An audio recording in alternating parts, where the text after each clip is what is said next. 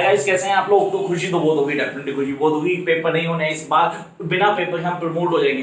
पर यहाँ पे छोटा सा सर वो कहते हैं स्टार देते नीचे एक कंडीशन अप्लाई डाल दिया था तो उसको क्लियर करेंगे। तो यहाँ मैं ये नहीं बताने वाला कि आप लोग 50 50 बेसिस पे पास कर देंगे प्रमोट कर देंगे नेक्स्ट ईयर के लिए due to this covid 19 but कुछ बेसिक क्राइटेरियाज आपको फॉलो करने अभी बेसिक क्राइटेरियाज क्या होंगे इन पे क्या ध्यान रखना है? And how we accompanied us at, with this situation.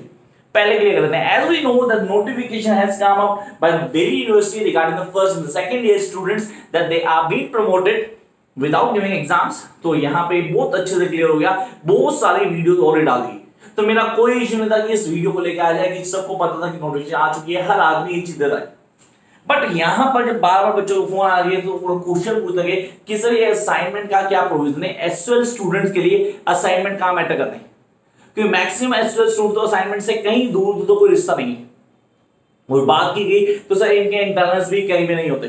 तो this video is specially for the non college और the SL students of Delhi University guys please do watch this video till then तो यहाँ पे वो सारी चीज़ें clear करने वाला जो सारे डाउट दिमाग में चल रहे हैं कि यार क्या करना है, इसके प्रोविज़न क्या होंगे और कौन सी चीज़ें yes we do have notification सबके सब नोटिफिकेशन ला के शो कर रहे हैं, बहुत ईजी है। आप नेट पे जाएँगे डीयू की नोटिफिकेशन डालेंगे, आपको पूरी मिल जाएगी। उसको दिखाने ज़रूरत नहीं है।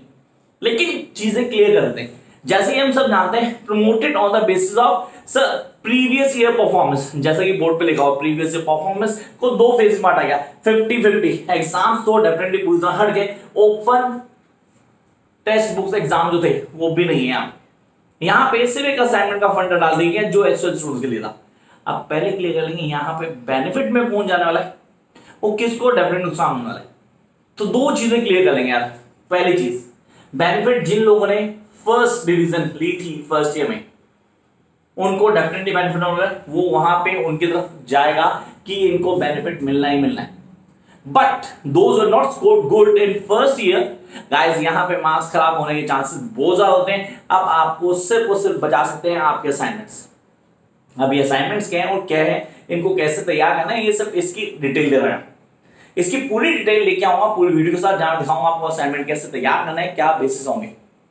तो पहले क्लियर करते हैं कुछ बेसिस को, जो आप सबको पता है, फिर भी छोटी फॉर्मेलिटी पूरी करता हूँ।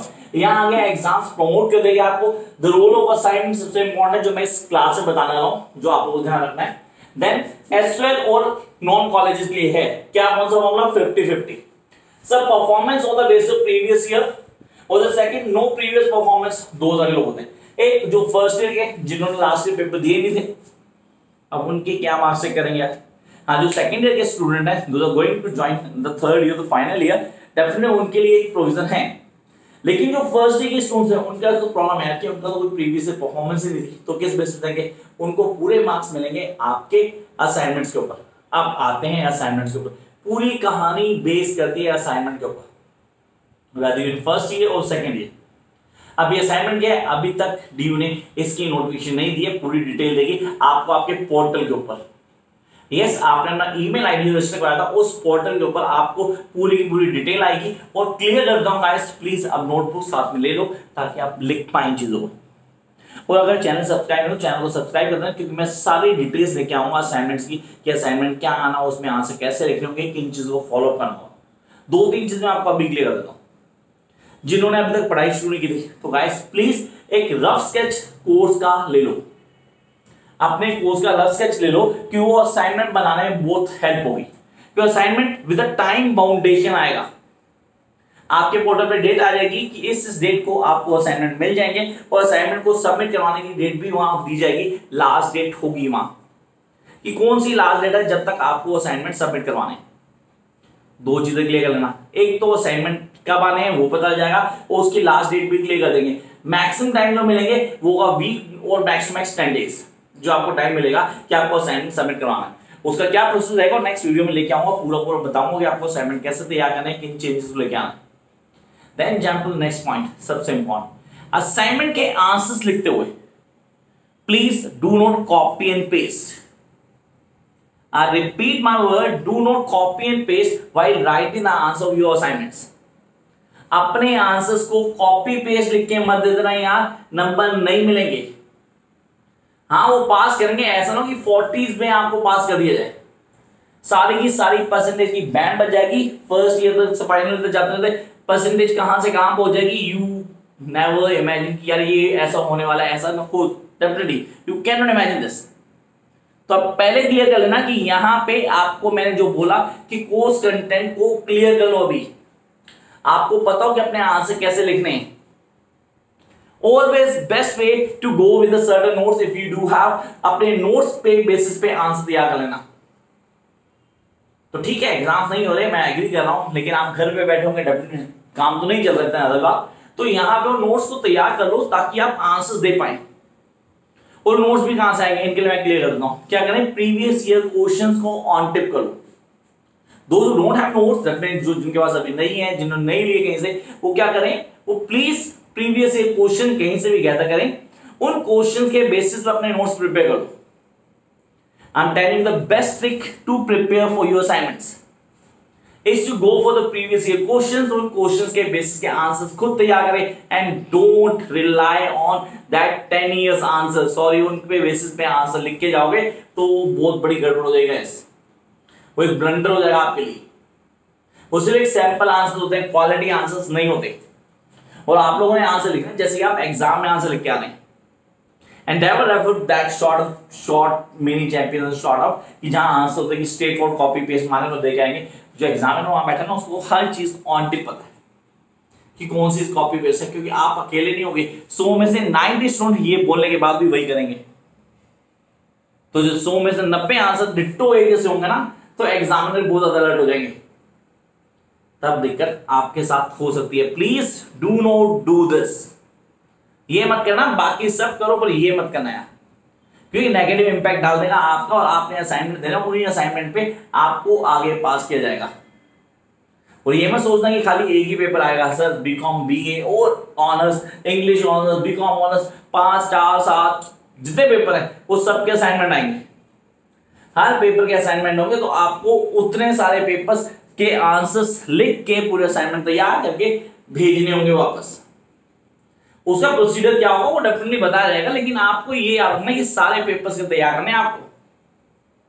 तो जो लोग ये सोच रहे हैं कि यार खत्म, बच गए, बचे नहीं यार, करना तो पड़ेगा, लिखना पड़ेगा पूरा, लिख के देना पड़ेगा। In other form it is just like an open text book examination जहाँ दोबारा असाइनमेंट को एग्ज़ाम की तरह ट्रीट करेंगे, उनको तैयार करेंगे, पूरा लिखेंगे और फिर भेजेंगे। हाँ यहाँ इस बीच में हो सकता है कि आप हेल्प ले लें अपने टीचर की, अपने फैसिलिटी जो भी हो आपको हेल्प करते इस आंसर में। क्या आंसर मेकिंग है लेकिन करना आपको ही पड़ेगा। और फैक्ट है टाइम ज़्यादा लगेगा एग्ज़ाम में उस सीट पे बैठे हुए आप तीन घंटे में सारा पेपर कर देते थे और यहाँ पूरे दिन में वो पाँच क्वेश्चन नहीं हो पाएँगे। तो ये ध्यान रखना है आपने कि ये फिफ्टी परसेंट मार्क्स बहुत ज़्यादा मैटर करते हैं। फिफ्टी परसेंट मार्क्स के लिए आप क्या स्ट्रेटेजी फॉलो करते हो, कैसे चीज़ों को डील करते हैं? दैट इज़ रियली इंपॉर्टेंट अब बड़ा क्वेश्चन आ गया, क्या ये असाइनमेंट क्वेश्चन रेलिवेंट होंगे? हमारे कोर्स से yes these are all been relevant according to your course and one more thing that you guys need to know that की आंसर्स को फॉर्म करते हुए आपको ध्यान रखना है the answer must precise all content that was required in that particular question उस question में जो चीज़ पूछी जाएगी, वो सारी की सारी उस आंसर में होनी चाहिए। यहाँ पे टीचर भी कुछ ज़्यादा ज़रूरत से ज़्यादा एक्सपेक्ट करेगा।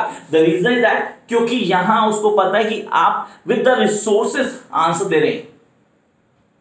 As you are having the resource आपके रिसोर्स होंगे तो आप उन रिसोर्स को पूरा ऑब्ज़र्व करके उनको इवेल्युएट करके आंसर लिखेंगे। तो वहाँ पे वो आपकी छोटी मिस्टेक्स को अवॉइड नहीं करेंगे। कि उनको पता है आपके पास एम्पल टाइम है कि आप उस आंसर को फॉर्म करेंगे और फिर फाइनलाइज करके उस असाइनमेंट में लिखेंगे। तो guys it's better to go for the entire course जैसा मैंने बोला अभी कि प्लीज़ एक रफ स्केच पूरे कोर्स का कंटेंट का अपने दिमाग में रख लें and then prepare for your assignments actually इस बार हम पेपर की बात नहीं करें। You don't have exam but you do have assignments to submit and those first year जिनको फ़र्स्ट ईयर पेपर देने थे उनको तो प्लीज़ बहुत ज़्यादा मैटर करेगा यहाँ क्योंकि आपने कोई प्रीवियस रिकॉर्ड नहीं है आपका। तो पूरे पूरे हंड्रेड परसेंट मार्क्स आपके on the base of these assignment decide होंगे।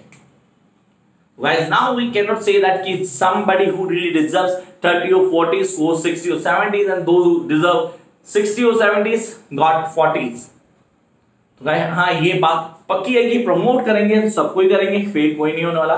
एक्सेप्ट जो कुछ करे ही ना, लेकिन आप बहुत इजीली क्रैक कर सकते हैं। तो ये साइड डिटेल्स के भी आगे असाइनमेंट्स में क्या चेंजेस आएँगे, कैसे लिखने हैं, कैसे क्या आंसर तैयार करने उन सब के लिए एक वीडियो के आऊँगा।